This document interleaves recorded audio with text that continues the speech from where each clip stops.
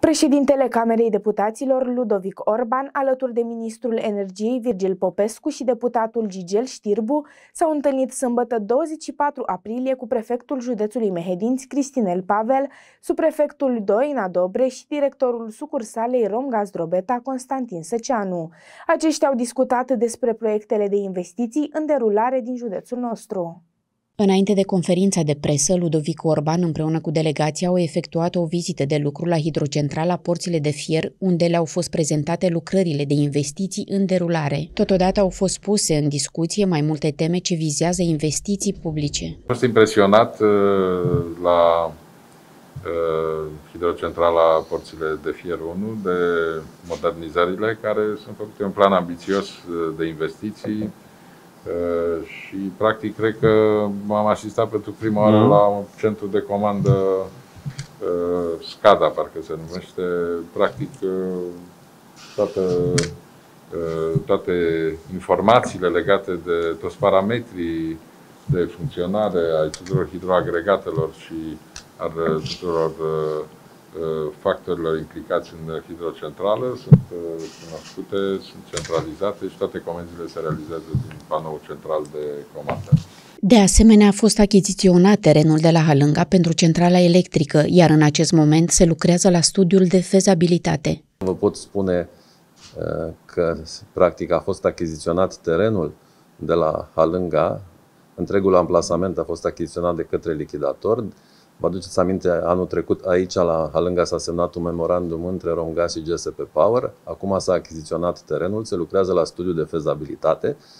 A fost introdus uh, întreg proiectul uh, pilot de la Halânga, vorbim de centrala de producere a gazului natural uh, de 150 de MW, 50 de MW panouri fotovoltaice care vor produce hidrogen, iar acel hidrogen va fi reintrodus în centrală și ars într-un amestec cu gaz natural, producând uh, o energie mai, mai mare și o energie mai, mai curată. Acest proiect pilot a fost trimis Comisiei Europene și, uh, spre marea mea bucurie, a fost acceptat din punct de vedere al conceptului ca un concept de producere a energiei electrice pe bază de gaz uh, mult mai curat decât în, în mod normal. Deci, practic, am făcut și acest pas, am achiziționat terenul, se lucrează la studiul de fezabilitate și sunt convins că în perioada următoare se vor face pași, pași semnificativi în așa fel încât să începem, să începem și, și construcția. Referitor la conducta de gaz, avizele pentru începerea construcției conductei de gaz au fost date de județele Mehedinți și Caraș-Severin. Acum se lucrează în paralel la studiul de fezabilitate și proiect împreună cu pichetarea în zona silvică pe traseul conductei.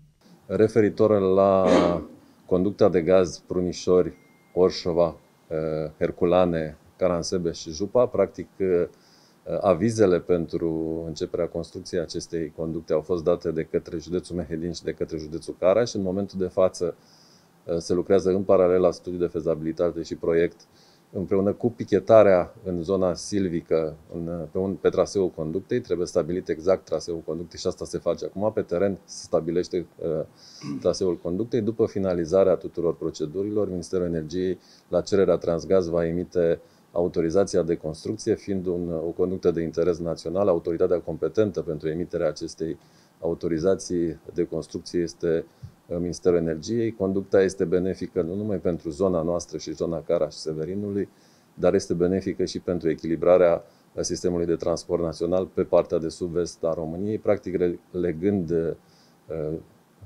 punctul de la Prunișor de conducta Bruga din punctul uh, Jupa. De asemenea, s-a discutat despre proiectul de finanțare a lucrărilor de asigurare a navigabilității Dunării. Conferința de presă a fost urmată de o întâlnire cu organizația PNL Mehedinți în grădina de vară a Palatului Culturii Teodor Costescu.